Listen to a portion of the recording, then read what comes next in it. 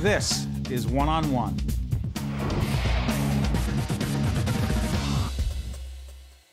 I think it was exciting to see what they did. I really enjoyed some of the dishes. There were a few that I absolutely loved that I want to eat again. What's interesting is they all did very similar dishes. So it is, in a way, easy to compare them. And that's what we have to do. Gail Simmons is a judge on Top Chef, the uh, video you just saw, and also the author of this book, Talking with a Mouthful. My life as a professional eater. How you doing, Gail?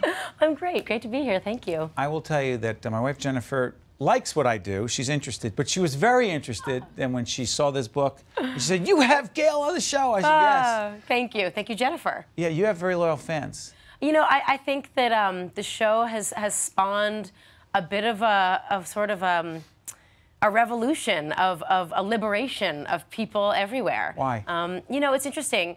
The show has been on now. For, it's we're coming up on our tenth season. We've done two spin-offs. Um, you know, several seasons of each of those.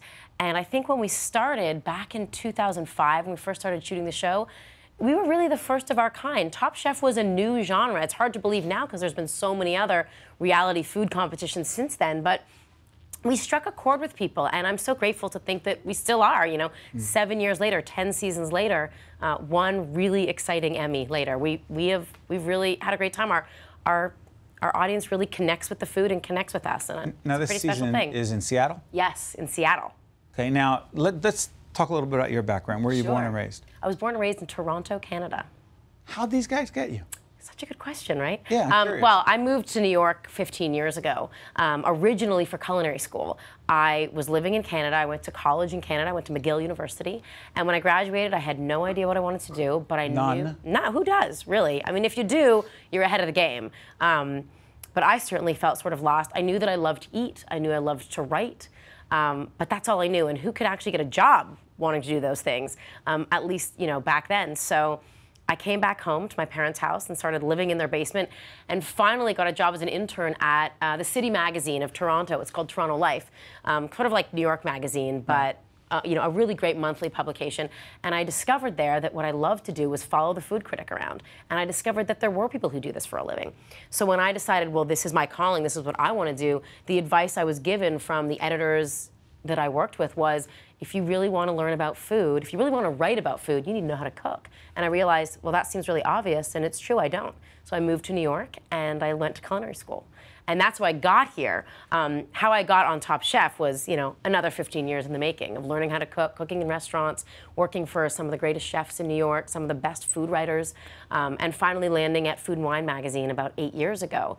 And about a year into my job, Food and Wine got a call from Bravo saying, we have this crazy idea for a show. Will you play along? And will one of your editors come on and, and do it with us? And before I knew it, I was flying off to shoot the first season. Did you want, was there a part of you that said, I want to be on television? Never. Really? Never. I mean, it's interesting. It really wasn't part of this the conversation then. Yes, there was food television, but most of the food television, even seven years ago, even it doesn't sound that long ago, most of food television was home cooking shows. We're talking exploding. Yeah. But not then. Different. It, I mean, it was just kind of bubbling to the surface. It was simmering, let's say. And then it really came to a boil with Top Chef. Um, we were the first people to show what it was really like in a professional kitchen. We weren't teaching you how to cook. Right. You know, there were plenty of chefs already doing that.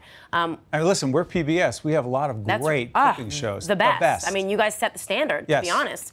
And Julia Child. Julia and Child, Jacques else, Pepin, yes. Lidia Bastianich. These yes, are the people the who taught me how to cook, right? Exactly. Um, taught us all how to cook um, from our couches.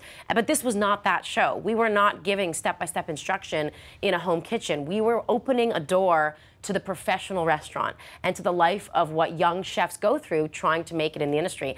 And it really caught on. I think it, it hit a chord with people because everyone can relate to it, but then there was this also sort of secret world that we were showing you. And at the same time, there was an element of, of competition, an element of contest. And so it sort of combined. You didn't have to be a huge foodie. You didn't want to have to learn how to cook to watch the show. It's you not even really about the food?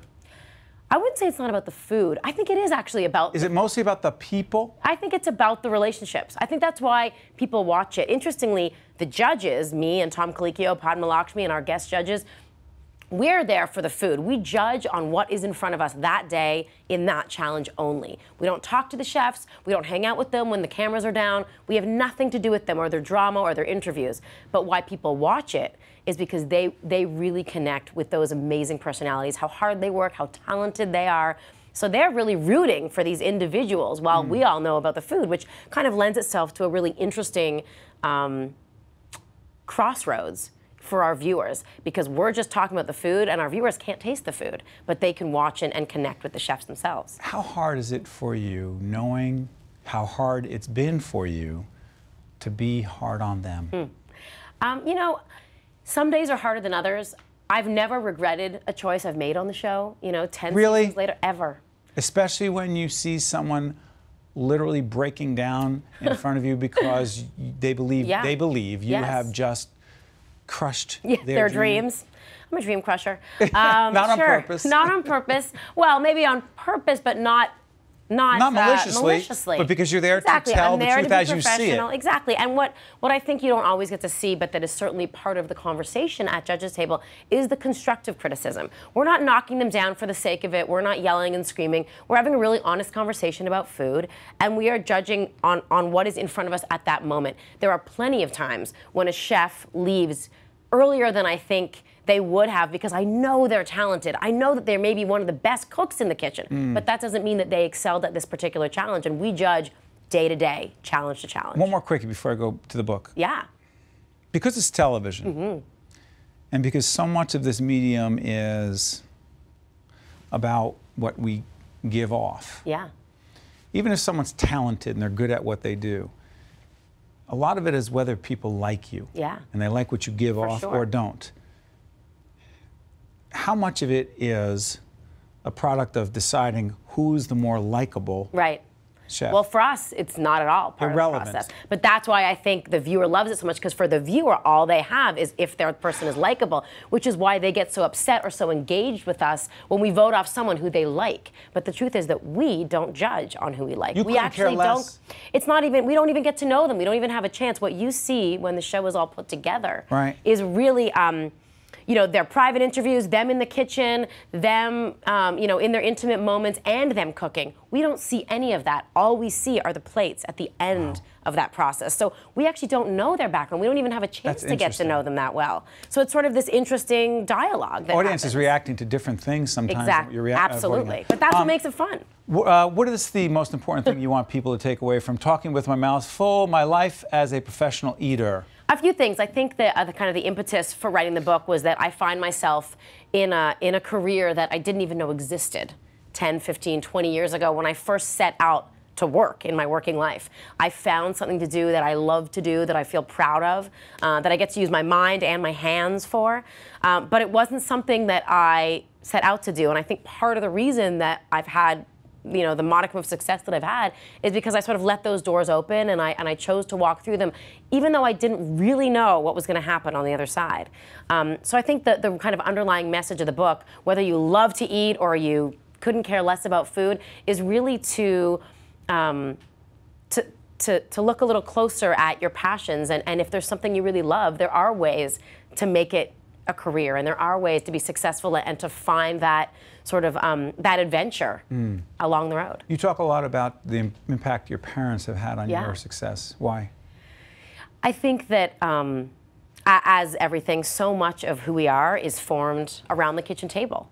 Um, What was I- yours like? My kitchen table was pretty special, actually. My mother was a cooking teacher. She she taught cooking in our home. In fact, our kitchen in the home I grew up in was designed as a teaching kitchen, so that she could have people over and they could sit in this kind of huge open space and watch her at the kitchen counter, and she could teach them. She taught women in the neighborhood, men too, and this was sort of in the 70s before before the Food Network, before Bravo had Top Chef, long before there was this sort of celebrity pop culture around food. So she was an incredible cook. She was a food writer. She wrote for the Globe and Mail, a big Canadian national newspaper. Your dad was doing what? Wine and pickles? he was making wine and pickles. Isn't that amazing? Wait, he's making wine.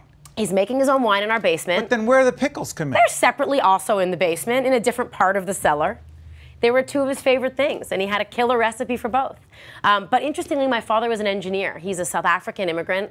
He moved to Canada in early 60s, met my, my mom in Canada. Uh, never even meant to come to Canada. Um, left South Africa to get away from the politics there, but actually originally moved to England and then was transferred to Canada as um, a chemical engineer. And so he had an amazing sort of appreciation, I think, for the life in Canada that was so different than how he was raised. He loved to travel. Uh, we went back to Africa tons during my childhood, and my parents really wanted to show us the world. We never sort of went on vacations nearby. Mm. My parents didn't spend their money on fancy cars or or on flashy clothes. They spent their money on our travel and teaching us to eat well. And is I that, think it set the bar, really. I'm sorry for interrupting. No, is, not at all. Is that part of the reason, limited time we have left, you travel so much with the show. Yeah. It's a big part of your life. Is that why traveling is so easy for you? I think so. Although I would say that the travel for our show is the hardest and the best part about the job. Um, we travel for, you know, I, for, for many of my jobs, for Top Chef, for Food Wine Magazine, um, I travel several months of my year. And I love it. I love discovering new places. I'm comfortable and at home traveling. But it also makes it difficult to, you know, mm-hmm. to stay in one place, to, to find roots. You know, my husband will say I probably travel more than he'd like. Speaking of uh, roots and comfort, your favorite comfort food is? probably a big bowl of pasta. What I kind of sauce or gravy? I mean, right now I'm thinking of something a little fancy just because it's on my mind. Maybe some sea urchins, some chilies, like a southern Italian seafood really? pasta. I would go with a linguine with oil and garlic. Uh, delicious too. Sometimes just just lots of black pepper and Parmesan cheese is all you need. I'll take any of it. Uh, you know what? Uh, my wife Jennifer was right about you. I, she said she is good, and, and you're very likable on the air. Thank you. And you added a lot to the show. Well, I feel blessed. Like I, love what I do, so I kind of. You mind if glad I plug I get again? to have fun, please. With my mouth full. My life as a professional eater. Gail Simmons, thank you very thank much. You so much. That was great. Good to be here. One on One with Steve Adubato has been a production of the Caucus Educational Corporation, celebrating 25 years of broadcast excellence. This special edition of One on One with Steve Adubato is brought to you from the Tisch WNET studios at Lincoln Center. Funding has been provided by Hackensack University Medical Center, Berkeley College, TD Bank, Qualcare Inc., a local managed care company covering 750,000 New Jersey residents, the law firm of Gibbons PC and by Verizon Communications. Promotional support provided by The Star Ledger and NJ.com, Everything Jersey, and by the New Jersey Business and Industry Association and its monthly magazine, New Jersey Business. Transportation provided by Airbrook Limousine, serving the metropolitan New York, New Jersey area. One on One with Steve Adubato has been produced in partnership with St. Joseph's Healthcare System.